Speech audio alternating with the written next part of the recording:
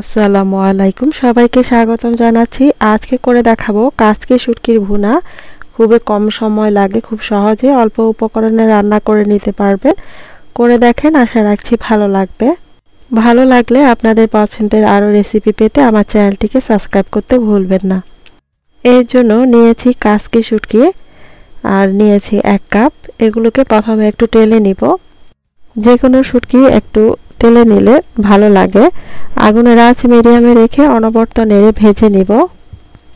এগুলোকে ভাজতে বেশি সময় লাগবে না, দুই তিন মিনিট ভেজে নিয়ে এরপর এগুলোকে নামিয়ে নিব।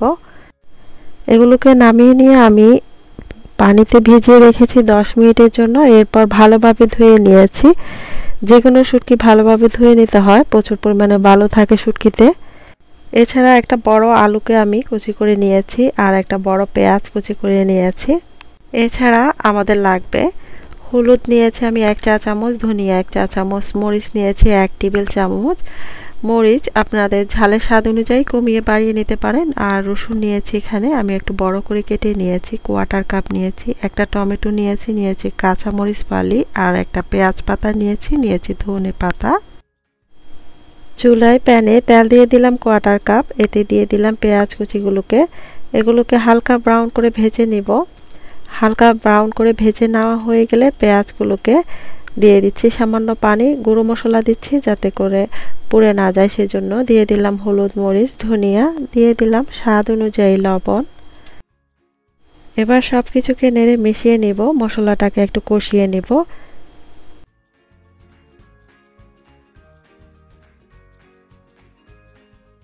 মশলা থেকে যখন তেলটা সেপারেট হয়ে আসবে এবার এতে দিয়ে দিব রসুন।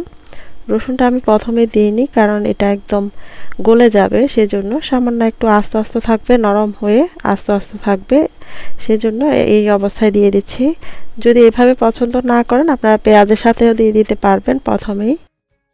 দিয়ে দিলাম কাঁচামরিচ ফালি চারটা। দিয়ে এবার এগুলোকে নেড়ে মিশিয়ে নিব মশলার সাথে। মশলাগুলোকে কিছুক্ষণ, অল্প কিছুক্ষণ নেড়ে চেড়ে নিয়ে এবার এতে আমি আগে থেকে ধুয়ে রাখা কাচকি শুটকিগুলোকে দিয়ে দিলাম। দিয়ে দিব আলু।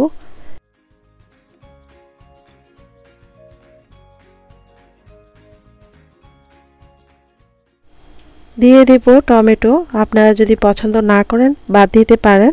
কিন্তু আমার কাছে শুটকির সাথে টমেটোটাকে ভালো লাগে, সেজন্য দিচ্ছি।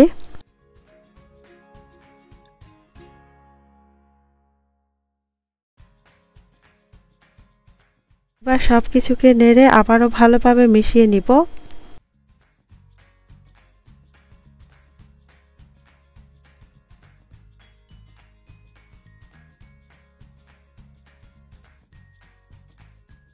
সব কিছুকে নেড়ে ভালোভাবে মিশিয়ে না হয়ে গেলে এবার ঢেকে দিব আগুনের আঁচ, মিডিয়াম থেকে কিছুটা লো করে দিব।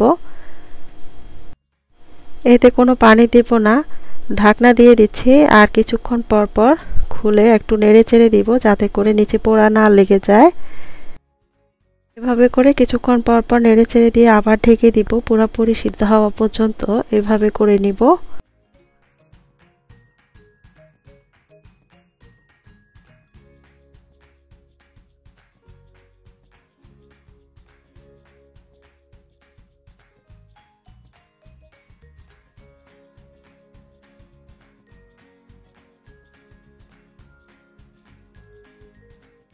পাঁচ ছয় মিনিট পর রান্না হয়ে গেছে। এবার ঢাকনা খুলে নিয়ে আমি দেখিয়ে দিচ্ছি, রসুন ভালোভাবে সিদ্ধ হয়ে গেছে, কিন্তু একটু আস্ত আছে।